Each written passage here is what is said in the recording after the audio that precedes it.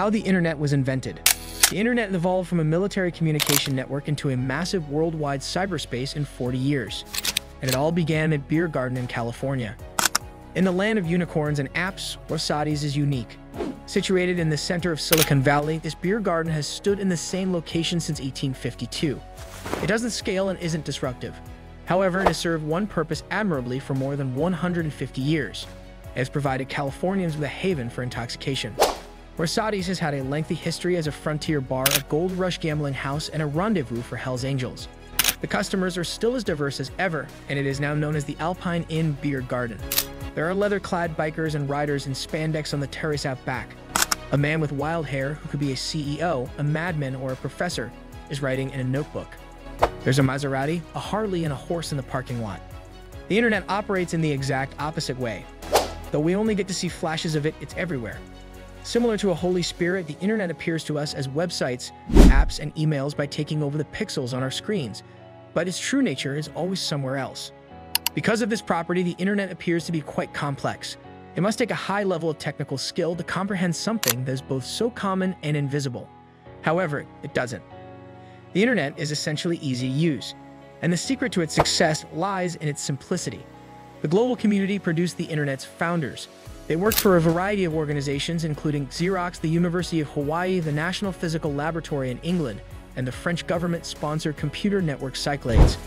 The Hub was the heavily funded research division of the U.S. Defense Department, the Advanced Research Projects Agency ARPA, which subsequently became the Defense Advanced Research Projects Agency DARPA, along with a large number of its contractors. The Internet wouldn't exist without ARPA. ARPA's creation of the Internet served a specific military purpose since it provided a means of deploying computation to the front lines. ARPA constructed the ARPANET computer network in 1969, which connected mainframes at educational institutions, governmental organizations, and defense contractors across the nation. With its rapid growth, ARPANET had around 60 nodes by the middle of the 1970s. However, ARPANET had a flaw in that it was immobile.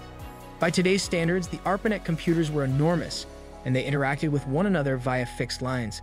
That might be useful for researchers who could work from a Menlo Park or Cambridge terminal, but it was of little use to soldiers stationed far into enemy territory. ARPANET needed to be available everywhere in the world to be helpful to forces operating in the field. Imagine yourself in a jeep in the Zairian forests or 52 miles over North Vietnam. Then picture these as nodes connected to a different network of potent computers situated hundreds of miles away via a wireless connection. The idea is to use computer power to defeat the Soviet Union and its allies through a networked military. The internet was born out of this dream, it was two steps to making this goal come true. First, a wireless network had to be constructed so that data packets could be radially or satellite sent between the variously located parts of the U.S. military apparatus. The other involved tying those wireless networks onto ARPANET's conventional network so that soldiers could use multi-million dollar mainframes while they were engaged in combat. The scientists dubbed it internetworking. Transferring data between networks was like trying to write a Mandarin letter to a Hungarian recipient. The internet was created to address the issue of internetworking. It posed many difficulties. Networking or getting computers to communicate with one another had proven to be challenging enough.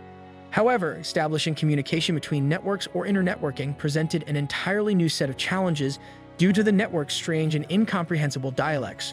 Transferring data between them was like trying to communicate with someone who only spoke Hungarian by writing a letter in Mandarin. It was unsuccessful. In response, the creators of the internet created a universal language that allowed data to flow over any network, akin to a digital version of Esperanto. An early blueprint was published in 1974 by Robert Kahn and Vint Cerf, two researchers at ARPA.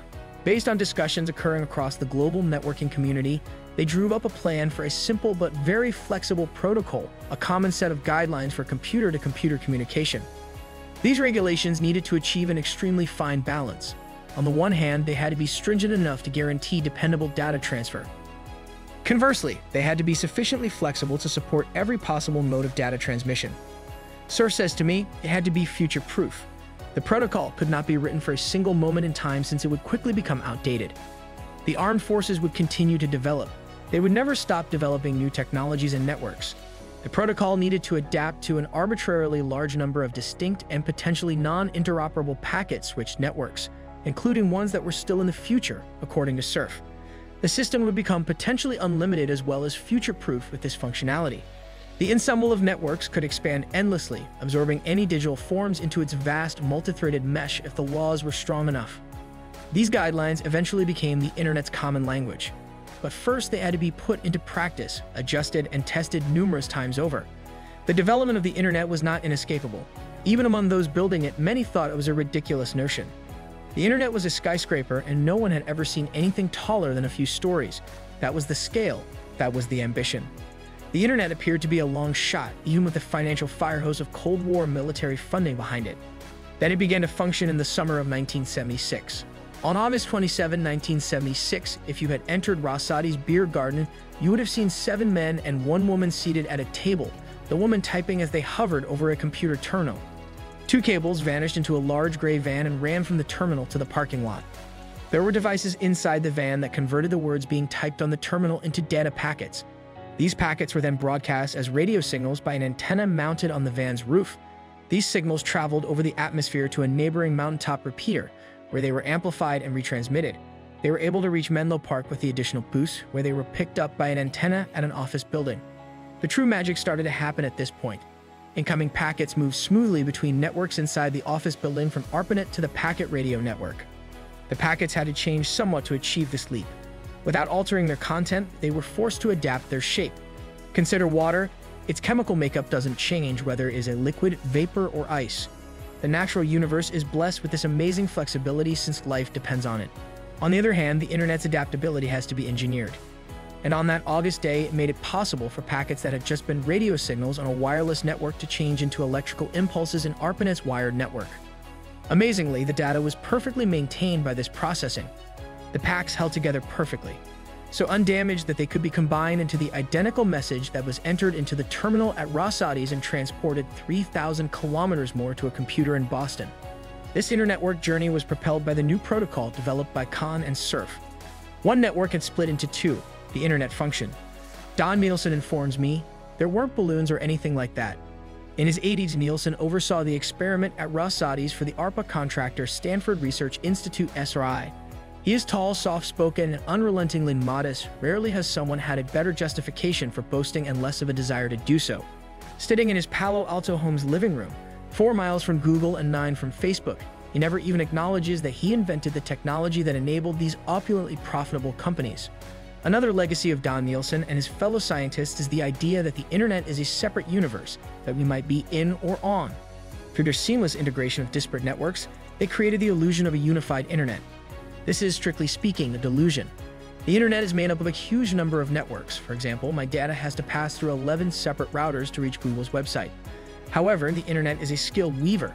It hides its seams remarkably effectively. What's left is the impression of an infinite transnational digital world or what we used to call cyberspace.